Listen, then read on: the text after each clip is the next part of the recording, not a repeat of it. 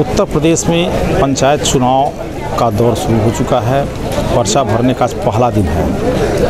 हमें असम सिद्दीकी और आप देख रहे हैं यूपी अब तक। महाराजगंज ज़िले के सिसवा विकासखंड कार्यालय पर हम आज पहुँचे हैं। काफ़ी भीड़ है यहाँ पे। पुलिस मुस्तैद है। तीन तरीके से जनता को रोकने के लिए पुलिस ने व्यवस्था की है। बीच में गाड़ी लगाई है। फिर आगे देखिए बैरिकेटिंग करके एक एक प्रत्याशी को, समर्थकों को अंदर भेजा जा रहा है। यहाँ कुल 60 ग्राम प्रधान के सीट हैं और 502 पर्चे बिके हैं। क्षेत्र पंचायत सदस्य के लिए कुल 75 सीट है, जिसमें चार सौ अड़तीस पर्चे बिके हैं। ग्राम प्रधान के सदस्यों के लिए कुल 1045 पर्चे बिके हैं। आज से शुरू हुआ है जो नामांकन प्रक्रिया कल तक चलेगी। आप पीछे देख रहे हैं कितनी बड़ी लंबी लाइन लगी हुई है। यहाँ कोरोना के मद्देनज़र वो सरकार की जो गाइडलाइंस है कि सब लोग मास्क लगा के आए मास्क भी लगाए हुए हैं। पुलिस पूरी तरह मुस्तैद है और अंदर, हम कैमरामैन से कहेंगे वो ज़रा वो अंदर दिखाएँ किस तरीके से कोरोना की चेकिंग की जा रही है मास्क देखा जा रहा है सैनिटाइज किया जा रहा है। और उनके टम्परेचर को चेक किया जा रहा है। यानी जो सरकार का जो कोरोना गाइडलाइंस है उस गाइडलाइंस का पूरी तरीके से पालन किया जा रहा है।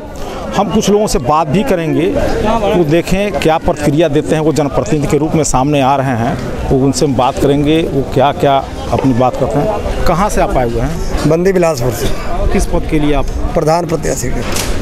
क्या उम्मीद आपकी है कि प्रधान बनने के बाद क्या करेंगे आप? गाँव का विकास करेंगे। पहले भी प्रधान थे मैं ही पीछे भी। कब प्रधान थे आप? अभी सिविल के थे। इसके पहले वाले में आप थे? मैं थे। मिठौरा गाँव के आप प्रस्ताव हैं। प्रस्तावक आप हैं। चाची आप क्या हैं? बीटीसी में। बीडीसी में? किस ब्लॉक में आप रहती हैं?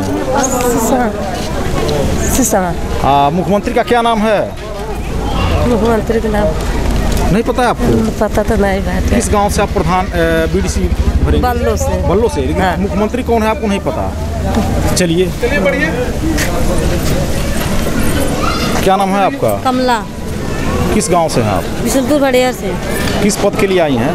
प्रधानी। मुख्यमंत्री का क्या नाम है? मुख्यमंत्री ना। आपको- मोदी मोदी। मोदी जी हैं मुख्यमंत्री। ये गाँव की विकास आप कर लेंगे आपको मतलब अच्छा लग रहा है कि हम गाँव की विकास कर लेंगे हाँ। आपको लोग वोट दे दें तो। हाँ हम गाँव का विकास कर लेंगे। चलिए अच्छी बात आप साथ में हैं? हाँ। हम अलग किस गाँव से चुरवा वर्मा से।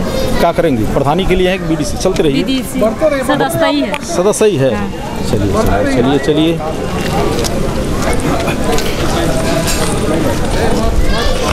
हमने अभी एक दो लोगों से बात भी किया। वो ग्राम प्रधान बन के गाँव का विकास करना चाहते हैं। लेकिन उन्हें पता नहीं कि हमारे मुख्यमंत्री कौन हैं। ऐसे लोग हमारे गाँव की सत्ता संभालेंगे और गाँव का विकास करेंगे। आप देखते रहिए यूपी अब तक। अगर आप यूट्यूब पर देख रहे हैं तो हमारे चैनल को सब्सक्राइब करिए और अगर आप फेसबुक पर देख रहे हैं तो हमारे पेज को लाइक करिए और शेयर करिए।